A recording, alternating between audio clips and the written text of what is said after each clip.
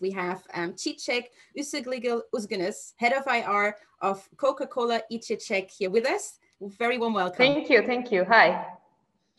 Um, well, first of all, congratulations on actually achieving a top published position in um, the 2020 Emerging EMEA Executive Team Survey, where you achieved a third position for your CEO and a third position for your IR program in the consumer sector. Very well done on, on getting to the top, and, uh, and I think it's a, it's a very well-deserved award. Um, tell us and share with us, what are your views on the award and what does that mean to you and your management? Well, thank you so much, and thanks to everyone who voted for us. Well, it is surely a very important thing for us. Uh, we do uh, take these awards very seriously. Uh, here at CCI, investor relations is very important. We take it very seriously. It is starting from the board level, uh, among senior management as well. Everybody is really uh, allocating their times to this uh, and their resources and we have a solid IR team. It has been the case uh, before we joined as well as, as the current IR team. Uh, so it is you know embedded in the company culture to have a solid communication with investors a proactive uh, communication with investors. Uh, so in light with our vision to be the best fmcg company uh, in our operating regions we have a clear strategic framework and that suggests to create value in everything we do. Uh, and creating value to shareholders is only an aspect of it. Uh, we want to create value for our communities our customers and consumers and our people along with our invest investors. Uh, so financial results is uh, not the purpose, it is the result. And making sure to communicate this properly on a timely basis on a consistent basis is also very, very important. Not just the financial results, the company strategy, all the ESG efforts, uh, corporate governance practices, everything along the way. Uh, so we really work very hard to meet the queries of our investors on a timely basis. Uh, we engage with them regularly via roadshows, uh, these days more virtually, of course, uh, conference calls, video calls. We try to arrange uh, times time uh, meetings with management on a frequent basis. so, you know, it, it's a really substantial effort uh, that we are trying to uh, put uh, forward. Therefore, being awarded for that, being respected for that is very important. And I once again thank thank uh, everyone for voting for us. Yes, very good. And and you mentioned obviously been an unprecedented year. Um, how did you um, cope through last year's challenges? And uh, you know, given looking at your website, very immediately you can actually see the core sort of selling points of a CCI and what you stand for, and uh, you provide regular updates. Tell us and share with us a little bit about the practical measures that you have taken to continue the engagement with investors, please. Sure. Well, uh, first of all, it was, of course, a shock to everybody. It is the, the worst crisis that our company has faced in its history. And I mean, we are we are an emerging and frontier markets bottler. So uh, we are always exposed to different ver versions of crisis. But this was by far the worst. It was very unprecedented. But we were uh, one of the lucky ones because of our industry, because of our system, being a part of the you know global Coke system also helped a lot because there were other bottlers who were in ahead of the curve in the pandemic situation. So we learned from them. The uh, you know the teams exchanged know-hows and experiences among each other within the system. Everybody supported uh, each other uh, along with our you know suppliers customers. So we we became even stronger and even more uh, closely connected as a system. And um, you know having that muscle developed of dealing with crisis uh, we responded very quickly and effectively to this uh, very challenging environment. So the the uh, management took a very serious set of actions immediately. And uh, you know uh, it, it, it, was a you know crisis situation obviously but the steps were very clearly defined. And as ir team our job was to make sure that we communicate this to, to the investor community because they were also concerned about what's going to happen. I mean internally uh, you know after passing the initial shock we became aware that you know with our uh, capabilities with our very strong brands uh, the experiences that we have we can weather this crisis smoothly uh, but we had to tell this to the investors and you know uh, get them relieved as well. So uh, we became uh, very proactive and you know very frequent in you know touching base with consumer uh, with, with our investors. Uh, you know we overly communicated. I can say the number of meetings we held in 2019 was 25% higher than in a you know in, in the year before in 2019. Of course, lack of travel was frustrating at first, but it had it had its benefits as well uh, because without spending time on travel, uh, we could meet investors as frequently as we want. Uh, everybody was just one click away on their Zoom platforms. So, uh, you know, we engaged with them a lot. We were very proactive. Uh, we explained them all the actions that we are taking. Yes, there was a lot of uh, uncertainty and unclarity. we withdrew our guidance immediately, the, the full year financial guidance that we gave to the to the investor community by February, uh, we immediately withdrew it, uh, saying that, I mean, we have no visibility at the moment. It is obvious that we will not be able to meet this guidance.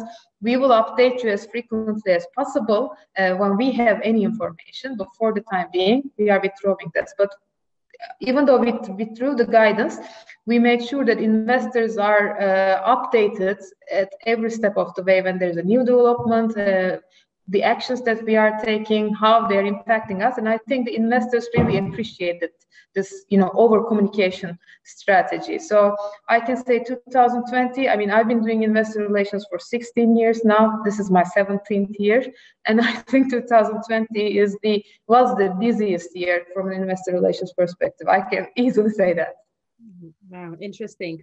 And and obviously, um, the pandemic has also put the spotlight on ESG. The buy side and sell side in our survey and emerging EMEA executive team survey are also assessing you on the basis of the quality of ESG um, engagement and reporting that you're providing. Uh, give us a little bit of a glimpse of uh, where you're at in, in terms of your ESG um, uh, journey and also how you aligned with your investors on ESG metrics. Sure. Uh, well, as I mentioned before, we have a clear strategic framework that leads to creating value in everything we do. I'm not just talking about short term profit maximization, but long term sustainable value creation. And this is our strategy. Therefore, we engage our stakeholders at every step of the way. Uh, we, as stakeholders, we have our customers and consumers, as I said, our communities, our people and our investors.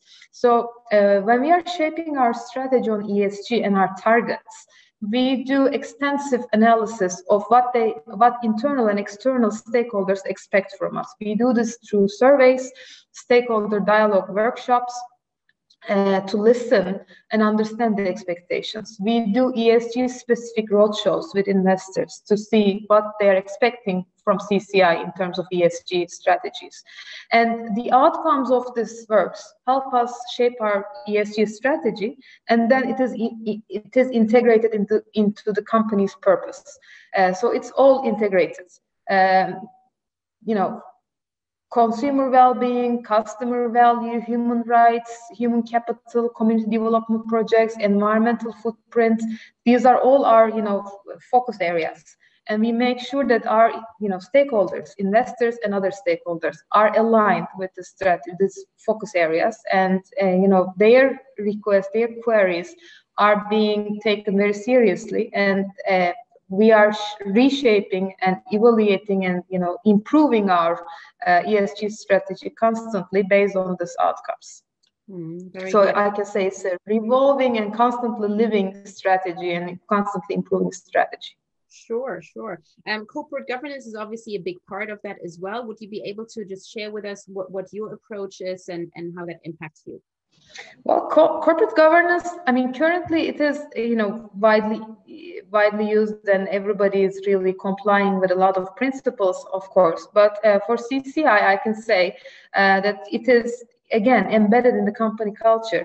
And since its IPO in 2006, corporate governance uh, adherence to corporate governance principles, uh, international standards, has always been a priority.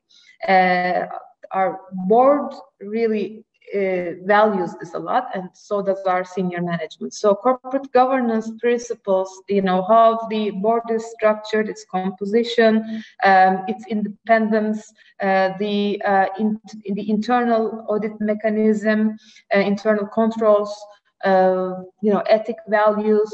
Um, these are all very important to CCI. So we make sure that we are uh, complying with these uh, to a great extent.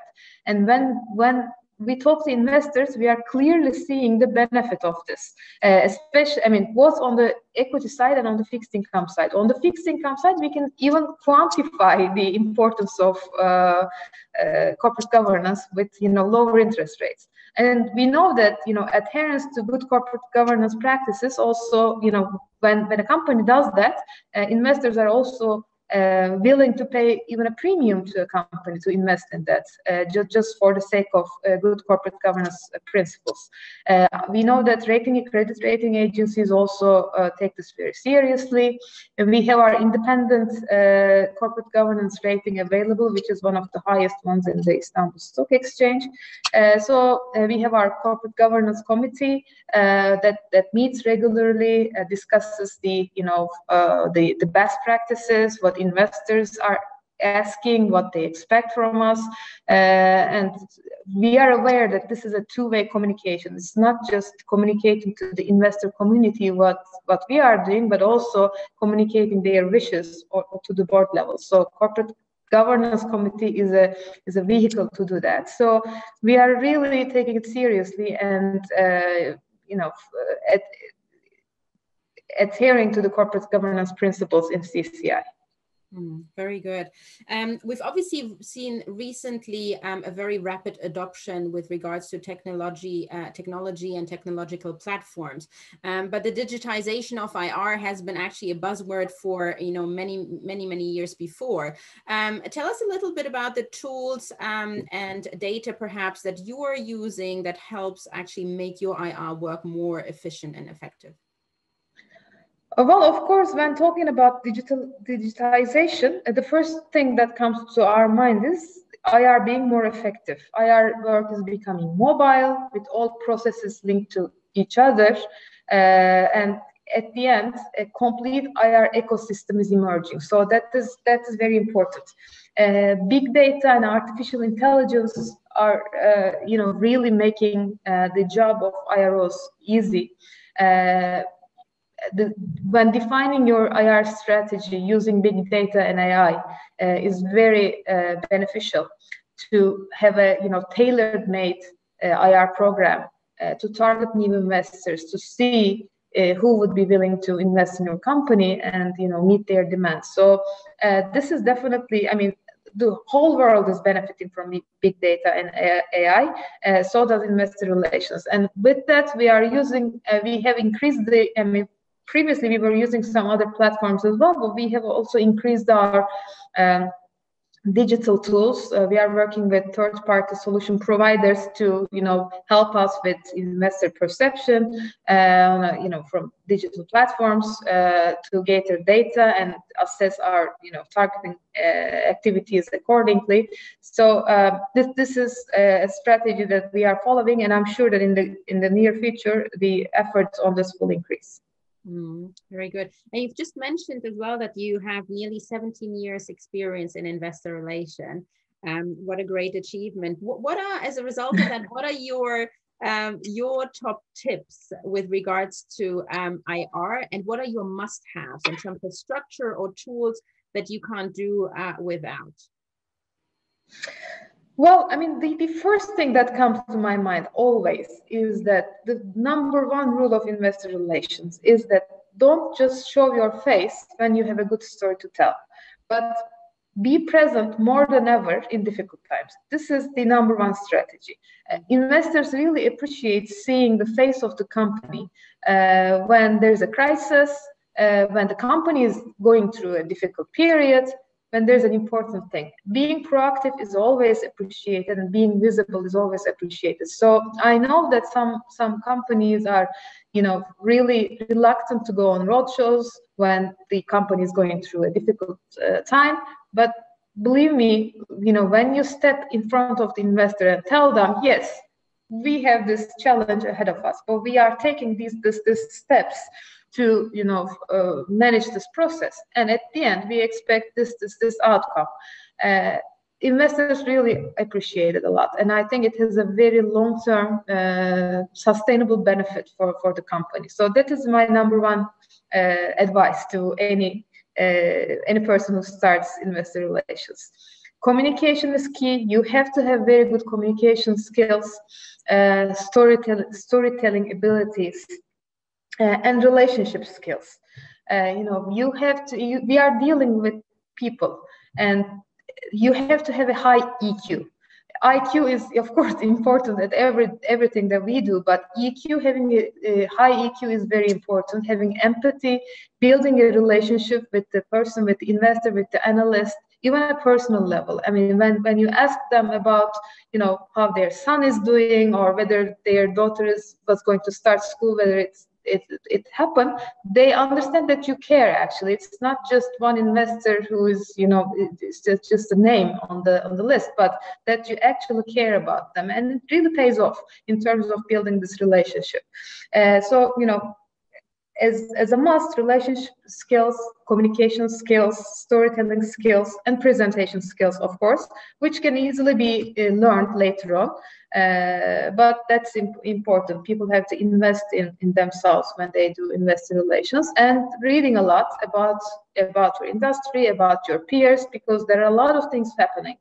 Uh, especially these days you cannot really catch everything but you knowing your company inside out is not enough. You have to understand your industry you have to know what's going on uh, about your peers.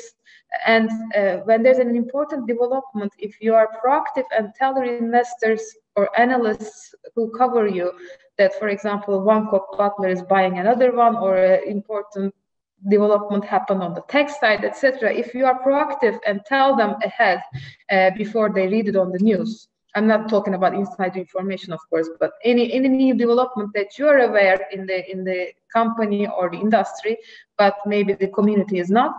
Being proactive on that really pays a lot as well. So, uh, in essence, uh, th this would be the advice that I would give. Yeah, very very good um, advice, and I've taken a note of the EQ versus the IQ. I think that's a very important one. Um, and finally, I have a few um, uh, quick questions for you um, to get to know Cicek maybe a little bit more on a personal level. And the the first question for you is: please name a historical person. Um, uh, who would that be, and what would you ask them? Uh, I think it's, uh, you know, I, I will give an answer that is very, you know, if, if, you're a Turkish person, I think everybody can guess who I'm going to say. I think I would like to meet Atatürk, the founder of Turkish Republic, and I would ask him whether he would come back. Who's your favorite singer um, or band?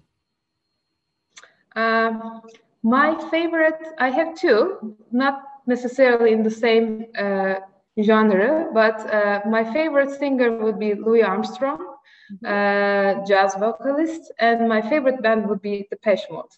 Oh, wow, very different, isn't it? um, it shows how old I am. uh, which quote from a movie do you use on a daily basis? Well, there are a couple, but I think there is one that I use a lot, and I think it's a very good fit to this one. Uh, it's an old movie, 1970s or 80s movie uh, with Paul Newman in it, cool, cool Hand Luke, and it says, "What we've got here is a failure to communicate." It's a very, very famous quote, and I use it extensively because our job is totally communication. That's a very good one. Very good. And the last question for you, uh, Cicek, today is: Which book did you least, uh, last read? Sorry. Uh, I last read a, a a murder novel by a, a Turkish economist, actually, uh, Mahfi Eğilmez. Uh, his first book is on, on you know, uh, you know, murder uh, mystery uh, called Inferis. Uh, that that was the late, latest book that I read. Fantastic. Thank you very much, Cicek Usakligil Ozgunes. Thank you very much for your time today. And uh, congratulations again on the winning positions that you have achieved in the Emerging EMEA Executive Team Survey 2020. Um, hopefully, we'll be able to catch up uh, during the TÜYİD Summit uh, this year, fingers crossed. Um, but all the best uh, from, from me and all the best uh, uh, for the future. Thank you very much. Thank you so much.